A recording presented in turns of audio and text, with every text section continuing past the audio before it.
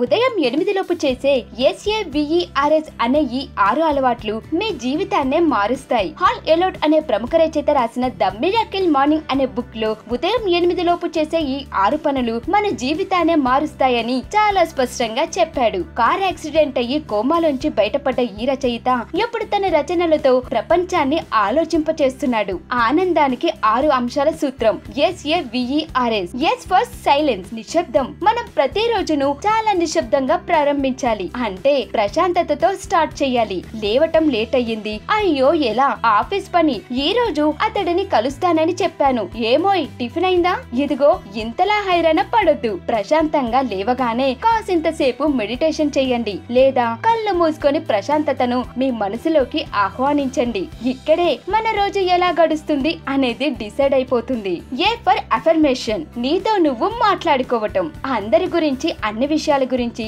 అనర్గళంగా మాట్లాడే మనం మనతో మనం ఒక్కసారి కూడా మాట్లాడుకోలేకపోతున్నాం. అసలు మనలోని మనకు ఏం కావాలి? పెద్ద స్థాయికి ఎదిగిన వాళ్ళలో ఖచ్చితంగా ఈ లక్షణం ఉంటుంది. ఈ మూడు పాయింట్స్ ప్రతిరోజు మీతో మీరు మాట్లాడుకోండి. నేనేమి కావాలనుకుంటున్నా? దానికోసం నేను ఎటువంటి ప్రయత్నాలు చేస్తున్నా? అనుకున్నది సాధించటం కోసం నేను వేటిని వదిలేయాలి? వేటిని కొత్తగా ఆహ్వానించాలి? ఇలా ప్రతిరోజు మనలో మనం మాట్లాడుకుంటూ మనలోని మార్పును మనమే లెక్కించాలన్నమాట. వి ఫర్ విజువలైజేషన్ ఆత్మ సాక్షాత్కారం. మనలోని భావాలకు మనసులో దృశ్య రూపం ఇవ్వటం కాన్షియస్తో కలలు కనటం అన్నమాట. ఉదయాన్నే మన లక్ష్యం అలా కళ్ళ ముందు కనపడితే దానిని చేరుకోవటం కోసం రెట్టించిన ఉత్సాహంతో ప్రయత్నం చేస్తాం. ఈ ఫర్ ఎక్సర్సైజ్ ఇది ప్రతి ఒక్కరికి తెలిసిన విషయమే. కండరాలు నరాలు ఉత్తేజితమై కొత్త శక్తిని ప్రేరేపిస్తుంది. ఆర్ ఫర్ రీడింగ్ రోజుకు పది పేజీలు చదవటాన్ని అలవాటు చేసుకోవాలి. ఇది మనలోని అంతర్గత శక్తిని ప్రేరేపిస్తుంది. ఫలానా బుక్ చదవాలని లేదు. మీకు తోచిన బుక్ను చదువుతూ పోండి.